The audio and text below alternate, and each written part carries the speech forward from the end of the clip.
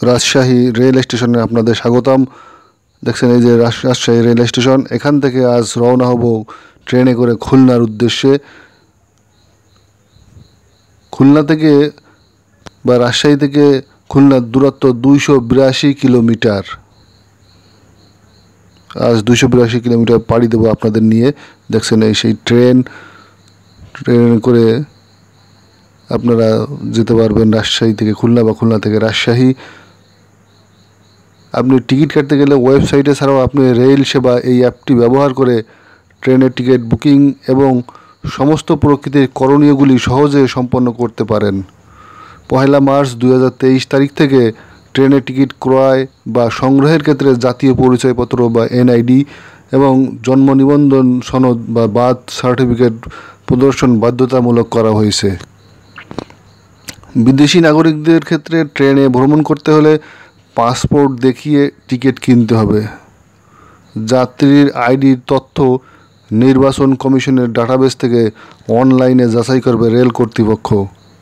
এই যাচাই সম্পন্ন হওয়ার পর যাত্রীরা টিকিট সংগ্রহ করতে পারবে।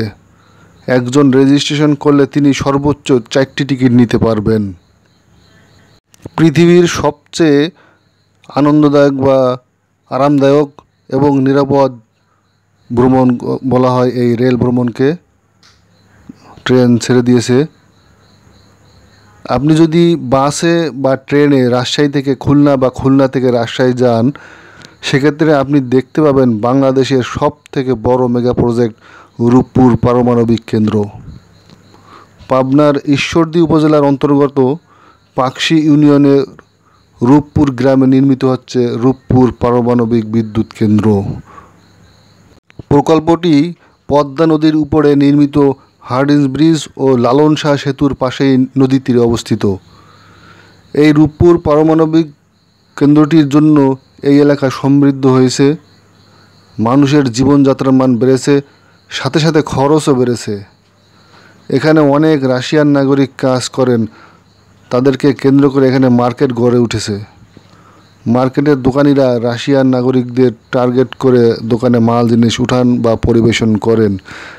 দেখা যায়, রাশিয়ান নাগরিকদের টার্গেট করার জন্য পার্শ্ববর্তী দোকানিরা কষ্ট করে রাশিয়ান ভাষা শিখে নিয়েছে।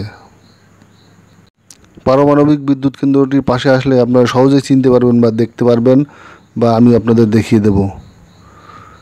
একজনের কাছে জানতে চাইলাম, রাশিয়ানরা দামাদামি করে কি না বলল, বাঙালিদের থেকে তারা বেশি দামাদামি করে। ওরা মাসে যদি চার বা পাঁচ লক্ষ টাকা বেতন পায়, তাও মাস শেষে হাত খালি হয়ে যায়। মানে তারা খরচ করে বেশি। রূপপুর পারমাণবিক কেন্দ্রকে ঘিরে পাশেই একটা রিসোর্ট বা পার্ক গড়ে উঠেছে। রাশিয়ার নাগরিকরা বন্ধের দিন সময় কাটাতে সেখানে বেশি যায়।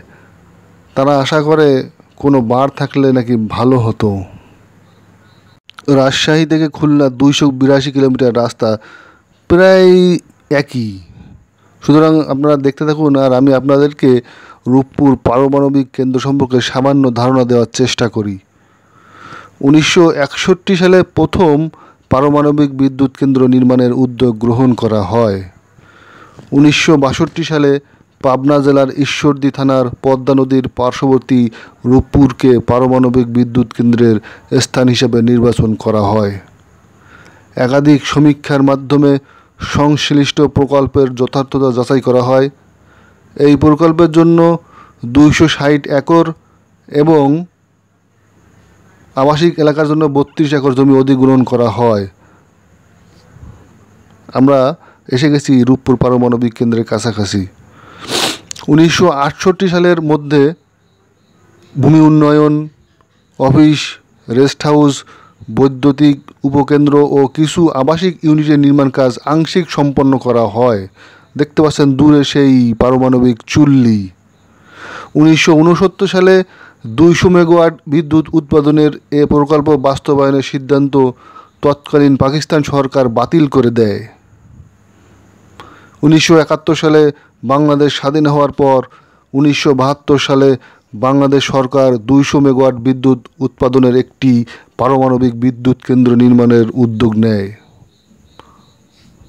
উনিশশো সাতাত্তর থেকে উনিশশো ছিয়াশি সালে মেসার্স সোফরাটম কর্তৃক একটি সম্ভাব্যতা অধ্যয়ন চালানো হয় ও এর মাধ্যমে রূপপুরে পারমাণবিক বিদ্যুৎ প্রকল্প বাস্তবায়ন যৌক্তিক বলে সিদ্ধান্ত দেওয়া হয়।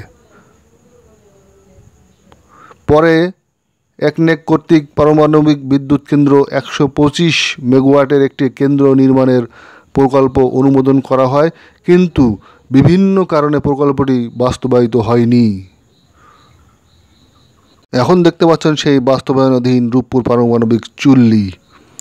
উনিশশো সাতাশি সালে জার্মানি ও সুইজারল্যান্ডের দুইটি কোম্পানি কর্তৃক দ্বিতীয়বার সম্ভাব্যতা অধ্যয়ন করা হয়। এই অধ্যয়নে তিনশো থেকে পাঁচশো মেগাওয়াট পারমাণবিক বিদ্যুৎ কেন্দ্র স্থাপনের সুপারিশ করা হয়। দুই সালে রূপপুর পারমাণবিক বিদ্যুৎ কেন্দ্র স্থাপনে অপরিহার্য কার্যাবলী সম্পাদন শীর্ষক প্রকল্পের মাধ্যমে পারমাণবিক বিদ্যুৎ কেন্দ্র নির্মাণের জন্য প্রাথমিক কার্যাবলী ও পারমাণবিক অবকাঠামো উন্নয়নের কার্যক্রম শুরু করা হয়। দুই সালের তেরোই মে বাংলাদেশ পরমাণু শক্তি কমিশন এবং রুশ ফেডারেশনের রাষ্ট্রীয় পরমাণু শক্তি শক্তি কর্পোরেশন রোসাটম এর মধ্যে পারমাণবিক শক্তির শান্তিপূর্ণ ব্যবহার বিষয়ক একটি সমঝোতা স্মারক স্বাক্ষর হয়। আমরা এখন পার হচ্ছে হার্ডিস ব্রিজ এবং দূরে দেখা যাচ্ছে সেই লালন শাহ ব্রিজ। দুই হাজার দশ সালের একুশে মে বাংলাদেশ সরকার এবং রুশ ফেডারেশন ফেডারেশন সরকারের মধ্যে পারমাণবিক শক্তির শান্তিপূর্ণ ব্যবহার বিষয়ক ফ্রেমওয়ার্ক চুক্তি স্বাক্ষরিত হয়। প্রকল্পটি সুষ্ঠুভাবে বাস্তবায়নের উদ্দেশ্যে প্রধানমন্ত্রীর সভাপতিত্বে একটি জাতীয় কমিটি, মন্ত্রী, বিজ্ঞান ও প্রযুক্তি মন্ত্রণালয়ের সভাপতিত্বে কারিগরি কমিটি এবং বিজ্ঞান ও প্রযুক্তি মন্ত্রণালয় সচিবের নেতৃত্বে একটি ওয়ার্কিং গ্রুপ ও আটটি উপগ্রুপ গঠন করা হয়। আমি পনেরোই জুন দু হাজার তেইশ তারিখে ভিডিওটি নিয়েছিলাম এবং দেখছেন মোবাইলে ফেসবুক লাইভে গিয়েছিলাম। আপনারা প্রয়োজন হলে লাইভটা দেখতে পারেন। দু হাজার দশ সালের দশই নভেম্বর জাতীয় সংসদে রূপপুর পারমাণবিক বিদ্যুৎ কেন্দ্র নির্মাণের জন্য সিদ্ধান্ত প্রস্তাব গ্রহণ করা হয়। দু হাজার এগারো সালের নয় থেকে পনেরোই নভেম্বর বাংলাদেশের পারমাণবিক অবকাঠামোর সার্বিক অবস্থা মূল্যায়নের জন্য আইএইএ সমন্বিত পারমাণবিক অবকাঠামো পর্যালোচনা আইএনআইআর মিশন পরিচালিত হয়। দুই হাজার এগারো সালের দোসরা নভেম্বর বাংলাদেশ এবং রুশ ফেডারেশন সরকারের মধ্যে রূপপুর পারমাণবিক বিদ্যুৎ কেন্দ্র স্থাপন সংক্রান্ত আন্তঃরাষ্ট্রীয় সহযোগিতা চুক্তি স্বাক্ষরিত হয়। বন্ধুরা, আপনাদের অবগতির জন্য জানাচ্ছি, এই হাডিস ব্রিজ বাংলাদেশের সবচাইতে বড় রেল সেতু ছিল। পরবর্তীতে এখন পদ্মা সেতু হচ্ছে, এটি হয়তো সবচেয়ে বড় রেল সেতু হবে। তবে খুলনা মোংলা রেল প্রকল্পের যে রেল সেতুটি হচ্ছে, সেটি পদ্মা নদীর উপর নির্মিত ব্রিজ, পদ্মা ব্রিজের উপর নির্মিত যে রেল সেতু, তার থেকেও বড় হবে। সেক্ষেত্রে বাংলাদেশের তৃতীয় বৃহত্তম হয়ে যাবে এই হাডিস ব্রিজটি এবং সর্ববৃহৎ হবে খুলনা মোংলা রেল প্রকল্পের রূপসা রূপ রূপসা সেতুর উপর নির্মিত রেল সেতু। দুই হাজার বারো সালের উনিশে জুন বাংলাদেশ পরমাণু শক্তি নিয়ন্ত্রণ আইন দু হাজার বারো পাশ করা হয়। দু হাজার তেরো সালে প্রধানমন্ত্রীর রাশিয়া ফেডারেশন সফরকালে রূপপুর পারমাণবিক বিদ্যুৎ কেন্দ্র নির্মাণের প্রাক প্রারম্ভিক পর্যায়ের কার্যাদি সম্পাদনের জন্য রাষ্ট্রীয় রপ্তানি ঋণ চুক্তি স্বাক্ষরিত হয়। দু হাজার সতেরো সালের চার নভেম্বর নভেম্বর একটি অনুষ্ঠানের মাধ্যমে বাংলাদেশ পরমাণু শক্তি নিয়ন্ত্রণ কর্তৃপক্ষ কর্তৃক রূপপুর পারমাণবিক বিদ্যুৎ কেন্দ্রের নকশা ও নির্মাণ লাইসেন্স প্রদান করা হয়। দু হাজার সতেরো সালের তিরিশে নভেম্বর প্রধানমন্ত্রী শেখ হাসিনা রূপপুর পারমাণবিক বিদ্যুৎ কেন্দ্রের এক নং ইউনিটের প্রথম কংক্রিট ঢালাইয়ের উদ্বোধন করেন। রূপপুর পারমাণবিক বিদ্যুৎ কেন্দ্রের এই প্রকল্পটি বাস্তবায়ন হলে বাংলাদেশ বিদ্যুতের ঘাটতি পূরণ হবে শতভাগ আশা করা যায়। দেখছেন, ট্রেনের গতি এখন চুরাশি, গতি মাপতেছি দিয়ে, মোবাইল দিয়ে। শতভাগ বিদ্যুৎ ঘাটতি পূরণ হলে এটাই আমাদের জন্য যথেষ্ট। আমাদের ফেরি করে বিদ্যুৎ বিক্রির দরকার নেই।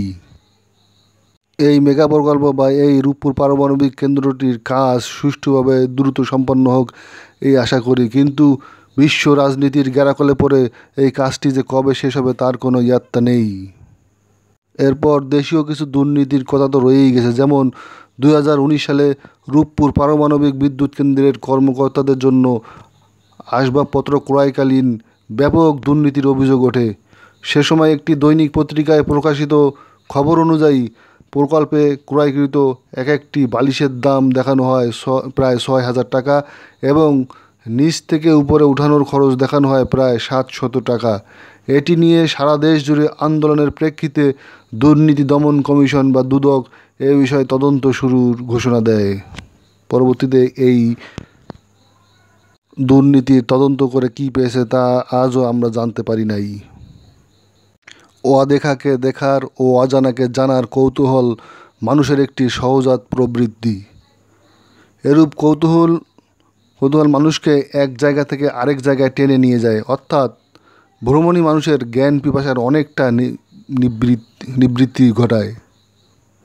তাই এখন ভ্রমণকে আর নিছক ঘুরে বেড়ানোর হিসেবে দেখা হয় না। ভ্রমণ শিক্ষার একটি অনবদ্য উৎসও বটে। বাংলাদেশ রেলওয়ে আমাদের দেশে সর্বাধিক নিরাপদ যাতায়াত মাধ্যম। এমন কোনো ব্যক্তি নেই যিনি রেলে ভ্রমণ করতে নারাজ। বাংলাদেশের মানুষ সবাই কম বেশি জানেন যে কমলাপুর রেলওয়ে স্টেশন হচ্ছে বাংলাদেশের সবচেয়ে বৃহত্তম স্টেশন। যার দাপ্তরিক নাম হচ্ছে ঢাকা রেলওয়ে স্টেশন।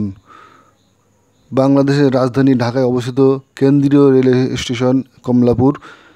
এটি দেশের বৃহত্তম স্টেশন ও পরিবহন খাতে ব্যস্ততম অবকাঠামো, যা রাজধানীর প্রবেশদ্বার হিসেবে বিবেচিত। আমরা যশোর সেনানিবাসের উপর দিয়ে যাচ্ছি।